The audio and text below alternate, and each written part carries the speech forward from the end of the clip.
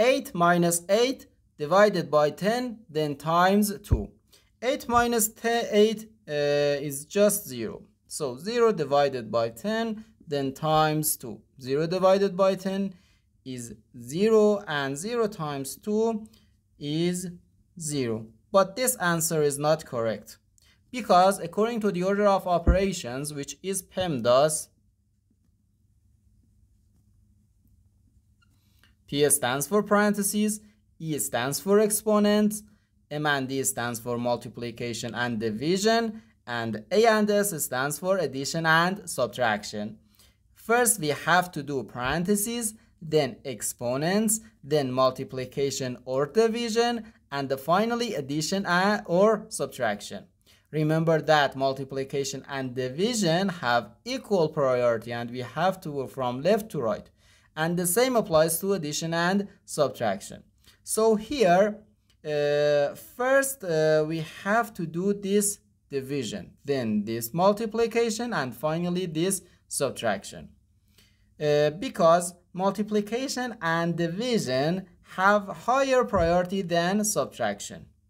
In PEMDAS multiplication and division come before subtraction and also multiplication and division uh, have equal priority and we have to go from left to right. So first we have to do this division then this multiplication and finally this subtraction.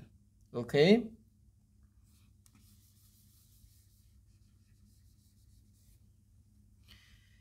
Eight divided by ten. We can write eight over 10. No, uh, 8 divided by 2 gives us 4. And 10 divided by 2 gives us 5. Okay, so we have uh, 4 over 5. 4 over 5. And here we have 8 minus 4 over 5, then times 2. Okay, uh, no we have to do this multiplication. 4 over 5 then times 2 4 times 2 gives us 8 so 8 over 5 8 minus 8 over 5 okay? So uh, and this is equal to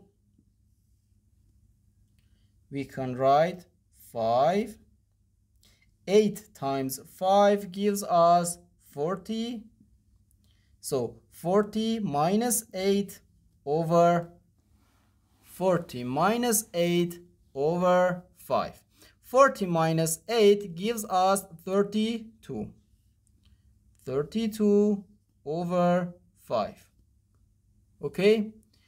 Uh, and now let's uh, uh, convert this improper fraction uh, to a mixed number.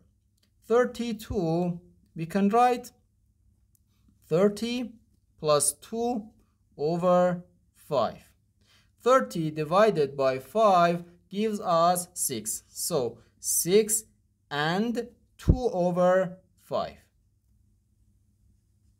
so, so therefore our final answer to this problem is just 6 and 2 over 5.